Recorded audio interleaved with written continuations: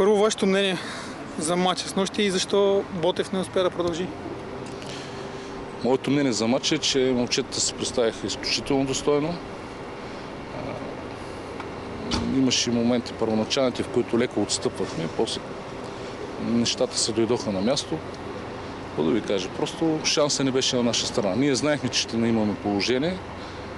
Единствено трябваше ние да си ги реализираме, но явно Господ така е решил. Шанса да не бъде на наша страна в този момент. Може би думата достойно е най-точното определение на цялостното представяне на Ботев в тази еврокампания. Ми да, аз ви казвам, че за мен е изключително стоен, не само за мен, а и по всеобщо мнение на всички и по подкрепата, която имахме с тази публика, която беше с нас в Португалия.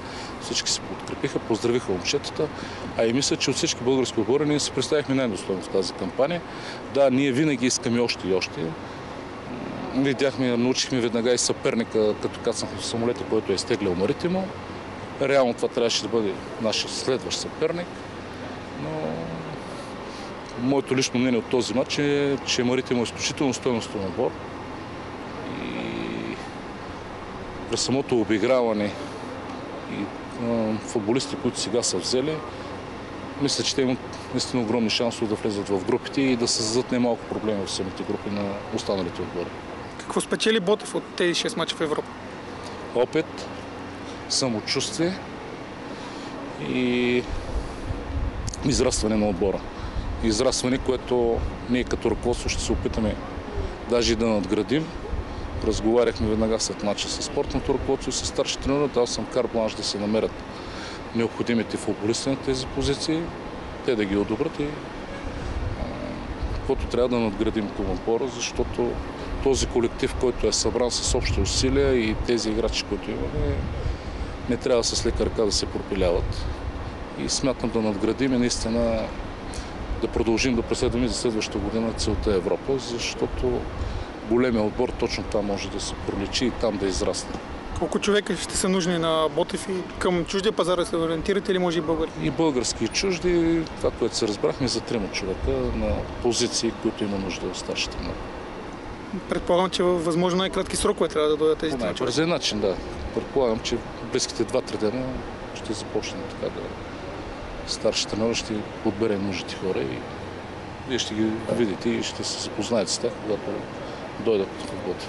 А ще успее ли Ботев сега да бъде такъв, такава силна фигура и в българското първенство с оглед мачовете, които направи в Европа?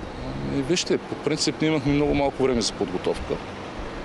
И това нещо, знаете, че а, разчитаме на тази пауза, която идва в първенството за националното отборе. Може би ще се наложи да проведем един мини лагер по физи... чисто физическа подготовка, защото така или иначе, вие видяхте за 6 седмици изиграхме 9 матча. Това за стандартите на България и за подготовката е малко трудно и малко тежко идва на българските футболисти, но мисля, че ние се правихме изключително достойно. И така се надяваме да вдигнем тонуса на момчета точно с този мини лагер, за да може да продължи ритъма, който имат да не пропадне, да не падне ритъма. Това, което ме притеснява е от участията и предните, които сме имали в Лига Европа, е самото отпадане малко или много психически повлия по някакъв начин на футболистите. Преболидува се бързо, за седмица горе се преболидува. Хубаво е наистина, когато играеш такива матчове. Там адреналина заряда е корено различно от първенството. Може би едно спечелване на Суперкупата ще дойде точно това самочувствие. Да. Абсолютно това си говорихме в самолета, но все пак ще играем срещу Лодогорец, нали? срещу най-добрия български отбор последните 6 години, тъй че... Аутсайдер ли е Ботев в този матч? Не, ние никога не излизаме от аутсайдери, дори и да губим. В събликаната, поне спортния щаб, единствено и само за победа говори на дъх на момчетата.